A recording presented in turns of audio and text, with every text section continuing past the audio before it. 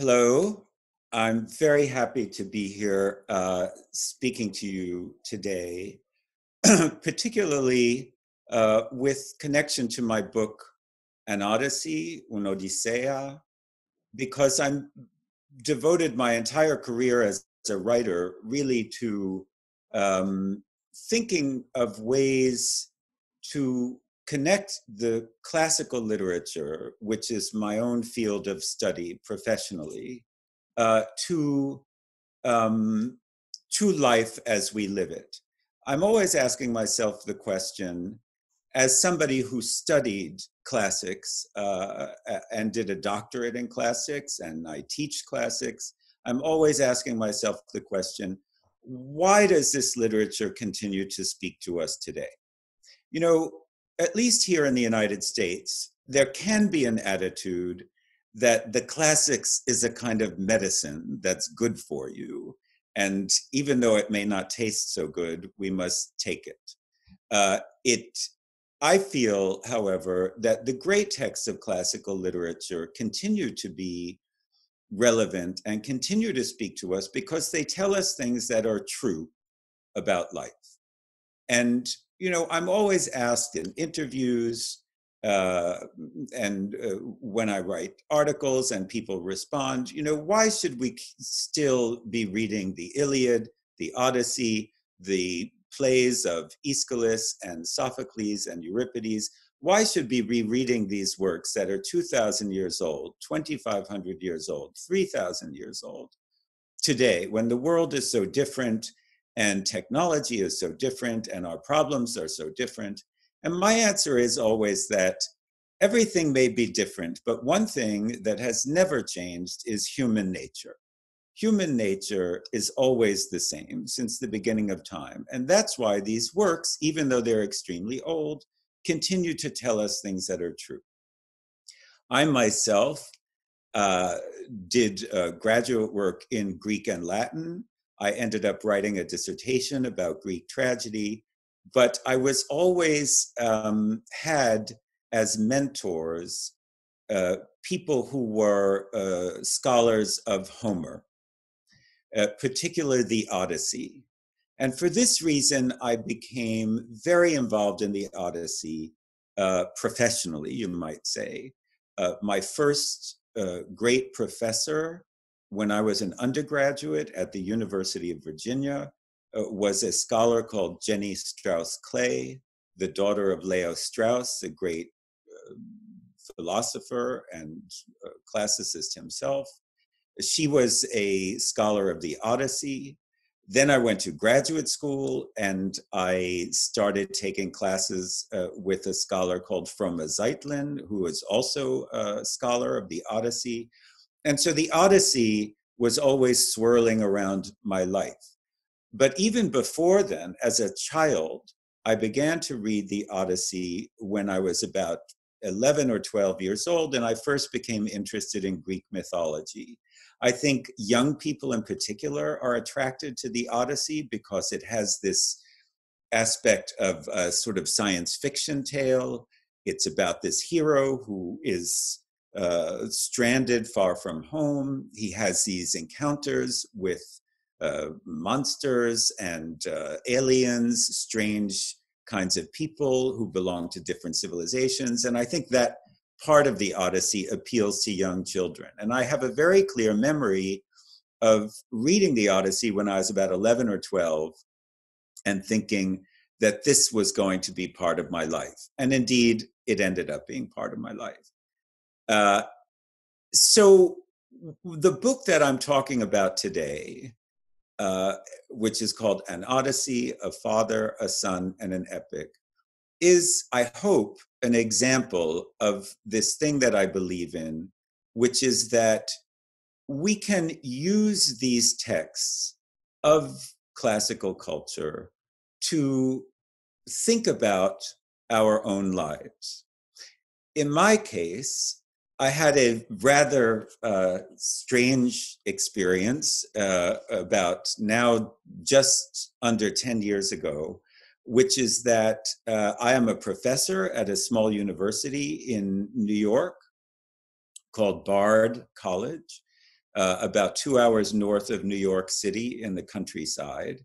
And in the spring semester of 2011, I was teaching a seminar to first year university students about the Odyssey. And this is a course that runs for 16 weeks. The class meets once a week for two and a half to three hours. And we usually take two books at a time and we read them in advance and we discuss them. In this particular class, uh, my father, who was then 81 years old, decided that he wanted to be my student. My father was a scientist. Uh, he was trained as a mathematician. He was a rather difficult person in many ways, a sort of grumpy, um, crusty uh, man. He had grown up quite poor in New York City uh, during the Depression.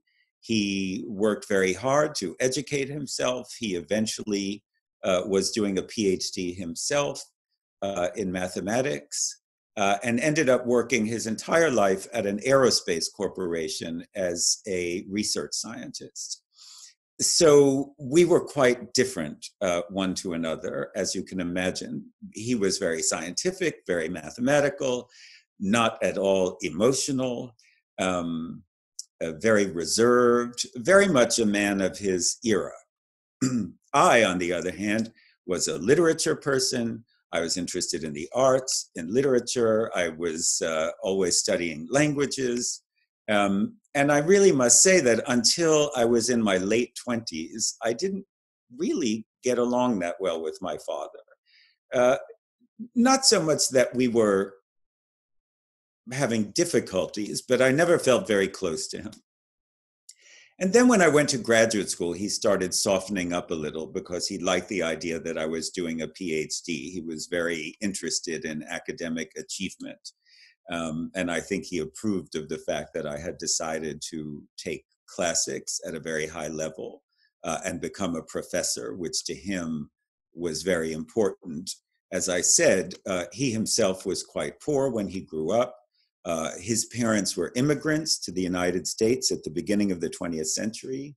Um, his grandmother, my great grandmother, did not even know how to read or write.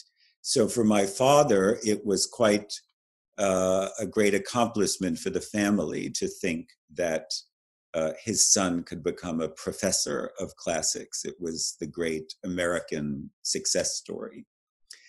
Uh, and so we start, our, the relations between us began to thaw uh, as I got older.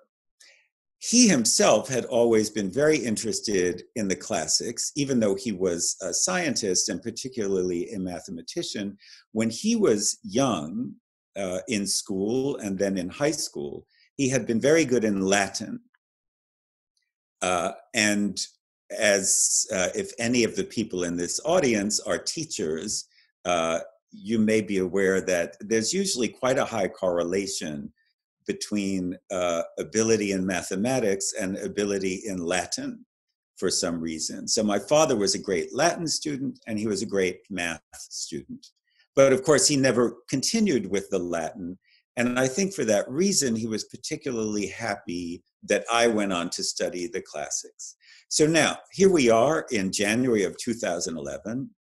And one night before the uh, university term began, my phone rang, and it was my father on the other end. And he said, What are you teaching this semester? And I said, Well, I'm teaching the Odyssey of Homer. And he said, You know, I think I want to take your class. I was a little surprised and I said, Why? He said, Well, you know, I used to like the classics and now I'm in my 80s. I don't know how much time I have left. Maybe it would be interesting to go back to the Odyssey, which I have not read since I was in high school in the 1940s. So that was the beginning of a great adventure, which turned out to be the final adventure of his life. What happened was in uh, the beginning of 2011, he took my course. He drove up uh, from the suburbs of New York, where he and my mother live, uh, up to the countryside where the little university is where I teach once a week. He took part in the class, and he um, was my student, which was a very peculiar experience, which I describe in my book. But during that 16 weeks when he was my student, I began to see things about my father in his reactions to the text of the Odyssey that were very revealing for me. The way that he reacted to the text of Homer showed things about him that I never really knew before. And I write about this experience in the book. And that experience of teaching my father, having him in my course, watching him interact with my students, which was often quite comical. They were first year university students, 17 and 18 years old. And here's this grouchy 81 year old man sitting in the corner. Um, and that was quite an experience. When the semester was over, in May of 2011, a friend of ours, in fact, this uh, graduate school mentor of mine, Froma Zeitlin, a great classic scholar, told me that she had heard about a cruise that recreated the voyages of Odysseus, Ulysses. And I thought, we should go on this cruise. So I called my father and he said, let's do it. So we went on this cruise. And during the course of this cruise, which was 10 days, where we sailed around the Mediterranean, recreating the voyages of Odysseus, it was another revelatory experience for me because I saw, I began to understand things about the Odyssey I had never understood before. You know, as many people know, even if they have not read the Odyssey, it is about travel. It is about a man who spends 10 years trying to get home to his wife and his child. But in those 10 years, he has a remarkable series of adventures that expose him to new cultures, new kinds of people, new civilizations, some good, some bad. And I began to appreciate something about the Odyssey I had never really understood before, which is the essential um, uh, irony of the Odyssey is that Odysseus has been gone for 20 years by the time he reaches home in Ithaca. And he has to prove to the people who have been waiting for him that he is the same man who left. He has to prove his identity, which, of course, one has to remember this is, you know, long before photo identification and DNA tests. So it raises the question how do you prove who you are? And the the poem ends, as many people know, with him finally being recognized by his uh, wife and his uh, child and his household and reestablished in his household. But the irony is that no one can be the same after 20 years of being away and suffering and having extraordinary experiences. So the Odyssey hinges on a very strange irony, which is that at the moment he has to prove who he is, one is also aware that he has to be completely different after all this time. And that's what I started to understand during this cruise when there was something about this voyage that we took together that revealed to me aspects of my father's personality that I had never really been able to see before. We, when I was growing up, we didn't really take many vacations. I very rarely had a chance to see my father relaxing and having fun. He was working all the time when I was growing up. And so I, I was very moved by the fact that during this cruise, uh, recreating the voyages of Odysseus, I myself was having this amazing transformative experience with travel, watching my father uh, expand and relax and become, so to speak, a different version of himself. And the cruise, uh, one could say, is a sort of second act of this story. And the final act, uh, unfortunately, is that soon after we returned from the Mediterranean to New York, uh, my father had an accident, um, and uh, as a result of this uh, quite minor accident, uh, he ended up suffering a stroke. And uh, three months later, he died. And so after that, I looked back on what had turned out to be the last year of my father's life and saw that the entire year had been refracted, so to speak, through the Odyssey of Homer. First through the course that he took, and then through the cruise that we went on. And that is really the story of my book. And I want to talk to you a little bit about uh, some of the specific experiences that I had, uh, which shed light on this way in which the text of Homer really showed me things about the reality, the emotional reality of my life and my father's life. Um, but before I do that, I'd just like to read to you a little bit from the beginning of the book to give you a sense of the style and the tone of the book because one of the things that I do in the book is I have constructed the structure of the book in the way that Homer constructs the Odyssey. Uh, one of the features of Homer's compositional technique is something called ring composition, which is a way of telling a story where one begins to tell a story. Let's call it story A.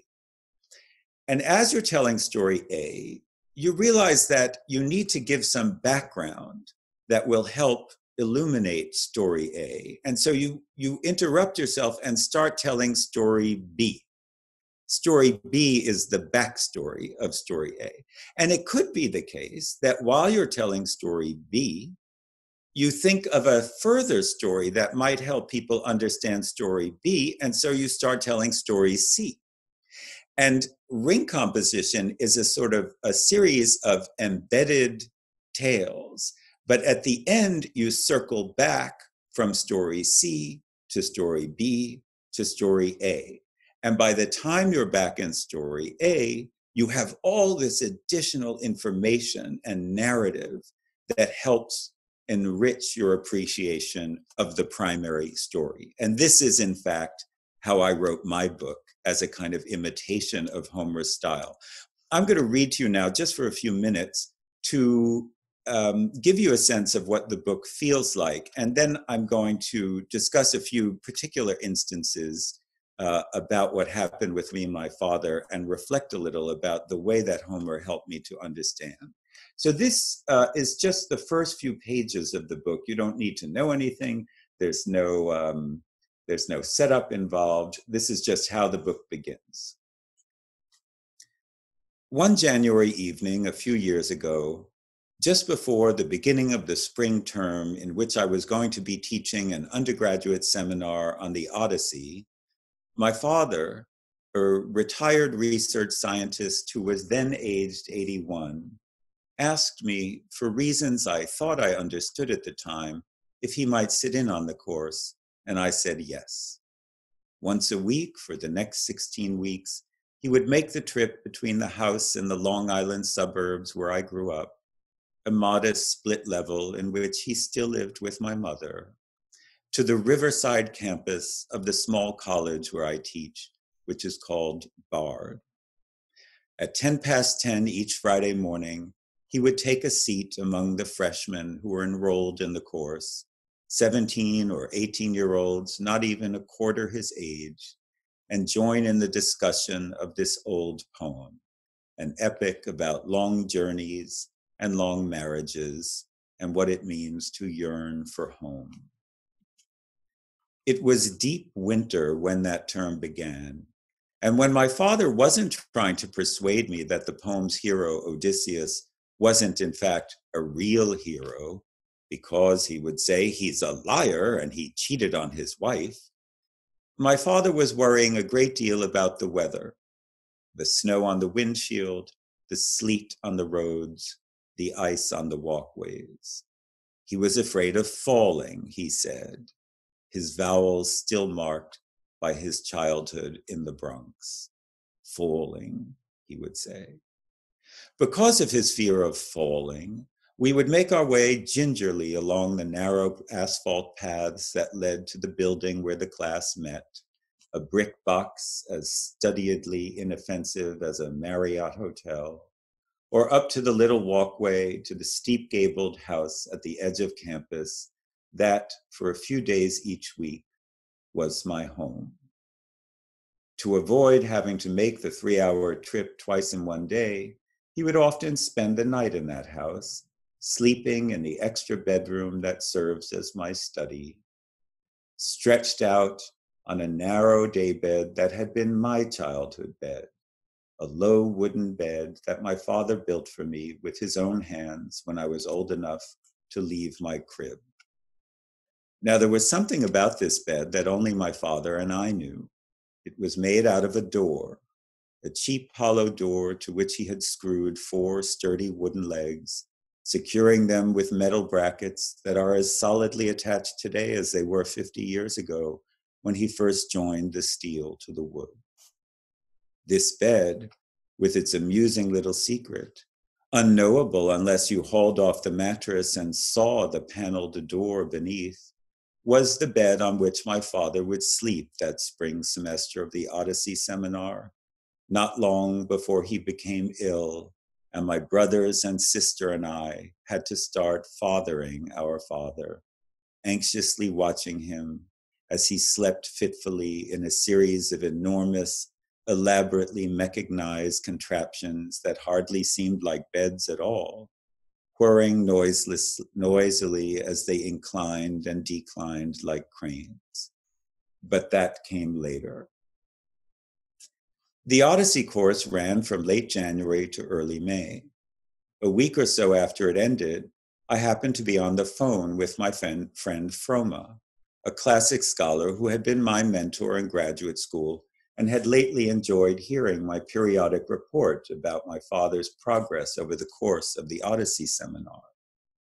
At some point in the conversation, she mentioned a Mediterranean cruise that she had taken a couple of years before called Retracing the Odyssey.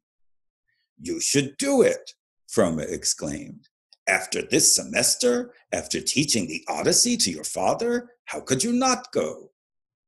Not everyone agreed, when I emailed a travel agent friend of mine, a brisk blonde Ukrainian called Yelena, to ask her what she thought, her response came back within a minute avoid theme cruises at all costs. But Froma had been my teacher, and I was still in the habit of obeying her. The next morning, when I called my father and told him about my conversation with her, he made a non committal so- noise and said, Let's see. And that was the beginning of our great adventure. So already you can tell just from these pages some of the key themes of the book the connection with my father, um, the nature of teaching. You know, he's going to be a student in my class. I get the idea for the cruise from my teacher, whom I still feel like I need to obey, and that the Germans have when a German graduate student refers to her uh, advisor, uh, they call it a Doktorvater, a doctor father. And so there's something about the, the nature of the teacher student relationship that is almost parental, which is recognized in this German term. And I'm so interested in that. And of course, the model in my case was complicated by the fact that my father was my student. Um, also, uh, in those pages, you hear something about the allure of travel, uh, the idea that travel can be problematic. My funny tra- travel agent friend warning me not to take a theme cruise. Um, and uh, my father's fear of falling, which I mentioned very casually in that opening uh, section. It was winter, as I said. He was always afraid of slipping on the ice. Um, where I teach is uh, in the north, and it's quite cold here. And in fact, the accident that ultimately proved to be fatal was, in fact, uh, a fall. Uh, so that unfortunately came true. And uh, in the um, epics of ancient Greece, the opening part of the epic is called the proem, uh, which in which the poet of this very long work announces his themes. And the pages I just read you, I call in my book the proem. You get my father, um, you get the theme of travel, of teaching, and a slight hint of his fall and his ultimate death. One of the things that becomes very important in the narrative of my book and having to do with the theme of teaching is the fact, and it's almost, one could say, the punchline of the book, is that I could never persuade my father to like the Odyssey. To the bitter end, he really didn't like the Odyssey, which is the poem that may be the most important work from classical antiquity to myself. All through the fir- all through the semester, and starting from the very first day, he challenged me in the classroom and it was very funny because you know when you teach when you're teaching uh, particularly undergraduates uh, particularly first year undergraduates it's a very delicate game that's played where you want to as the professor and in a sense you need to establish your authority establish the discipline of the classroom. And yet on the other hand you want to make the students uh, feel that they can speak in class and offer their opinion. So it's a very delicate balancing act. One, I must say, that was completely ruined uh, in this class by the presence of my father, who from the very beginning started arguing with me about my interpretations of Homer. And it sounds quite funny to say now, uh, but it ended up being a very positive thing.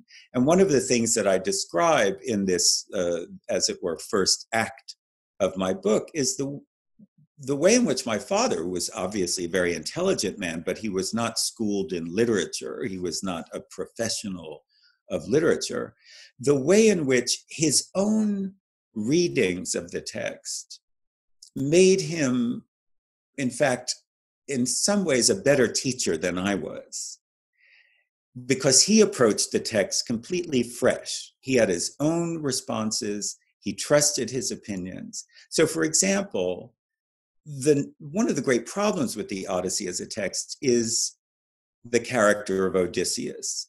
Uh, he is at once attractive, an adventurer, a hero, a swashbuckler, um, and yet He's deceptive, he lies all the time. And my father could never accept that Odysseus should be considered a hero. And you know, it's funny because when you're a writer, you always think that Odysseus is wonderful because he's a great storyteller. One of the ways that he's constantly getting out of difficult situations is he fabricates these lies, tall tales, s- stories uh, about himself he's constantly pretending to be somebody else. So, in a certain sense, Odysseus is the first writer in Western literature. Uh, and my father hated him. He couldn't stand him. And so, from the very beginning of the class, my father and I were in conflict over the nature of the hero of this ancient Greek poem to which I have devoted my life really as a as a classicist and as a writer. Um, and that was very instructive for the students. Normally, first year students are very timid. Um, and I think the, fa- the fact that my father was always arguing with me in the classroom uh, emboldened my students to be more independent minded than they might otherwise have been. Um, so that's a major theme of the book. Sort of how, at first, it was incredibly irritating to me to have my father always interrupting me and saying I was wrong and I was interpreting the poem wrongly. you know, it was kind of every professor's nightmare. He was this sort of worst student you could imagine. And yet, it ended up being more challenging for me. And it made me think harder about the poem because of the way in which he challenged my interpretations, it made me really think harder about the Odyssey than I had ever thought before. And I've taught it many times over the years. Uh, and that can be a problem because when you teach something very often, you get into a kind of groove. Um, and that can be a danger. You stop losing your freshness. So I really feel uh, belatedly that I learned a lot from my father and became a better teacher um, than I would have been if he had not been there, even though at the time I found it very irritating. Um, so that's one of the major themes of the book. And I, I, I would say in closing that uh, the other great theme of the book is the transformational power of travel, which is, of course, a theme of the Odyssey itself. I mentioned before how much I learned about my father from traveling with him. As I mentioned, he grew up poor. He didn't have any luxury in his early life. And like many uh, people of his generation, he was born in 1929, just before the Great Depression began. Uh, he was a child of the Depression. He was always very reluctant to spend money because he was always haunted by the possibility that it might all disappear. And it was very moving for me to see him on this very luxurious cruise for the first time in his life, sort of um, unwinding. And, you know, on the cruise, when I was growing up, he was very rough with us, not physically, but you know, he was gruff. He, as I said, he wasn't emotional. He never hugged us. You know, uh, he never, you know, expressed a lot of emotion. And so I thought of him my whole life as a sort of a hard person. And then on the cruise, this sort of magical transformation began to take place, very much like these magical transformations that keep happening in the Odyssey. He, he became relaxed, he was funny. Everybody liked him. You know, every night we would gather at the bar having cocktails. There was a piano bar, and he would sit there. You know, he was 81, he was the oldest person there. And a little group of people would gather around him, and he would start reminiscing and telling stories from his childhood, things that he never did with us, his own children. And it was as if I, you know, I remember uh, people kept coming up to me during the course of the cruise and saying to me, Oh, you know, your father is so charming. And I would say, My father is so charming? Are you kidding me? I never thought of my father as a charming person. But there was like the magic of the Mediterranean had started working on him. And and he would sing songs that he liked. And I thought, this is really very much like what happens in the Odyssey. You know, there was something about just the fact of traveling that allowed him to be a version of himself that had never been permitted to exist before because of the circumstances of his life. And that gave me great insight also into the Odyssey. As I said, we got back from the cruise in the summer of 2011 and very soon after, he tripped, fell, and that was the beginning of his end. And the final Odyssean lesson that I learned, as I said before, so much of the Odyssey is about this famous theme of recognition. He comes back to his own home, a stranger, he's in disguise. How can he prove to the people who knew him that he is still himself?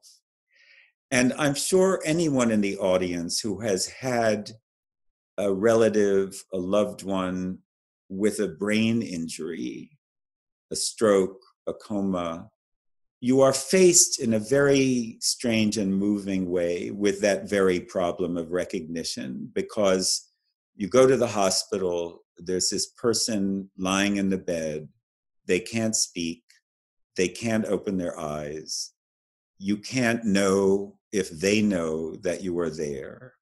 And you have to ask yourself the question is it still him? Is it still him? And I know that many people have been in that situation. And when I was in that situation at the beginning of 2012, I thought again of the Odyssey and the questions that it asks about the nature of our relationship to our loved ones, how well we know them, and how in the end can they remain recognizable when so many other things have changed. and so I wanted to put before you today some of these considerations. Uh, you know, this isn't just uh, to uh, promote my book, but this is to get you to think about the way that some of these ancient works continue to raise questions that seem profoundly contemporary, however old the works may be. And in my book, An Odyssey, I tried to use the text of Homer to reflect upon a strange and wonderful experience that I was lucky enough to have almost 10 years ago with my late father. I hope you will get a chance to read my book, but even more, I hope you'll get a chance to return to the Odyssey and some of these other classics and to ask the question of what these works still have to say to us. As a great Italian writer once said, a classic is a book that never stops having something to say to us. And I think that's something that we should all think about. Thank you.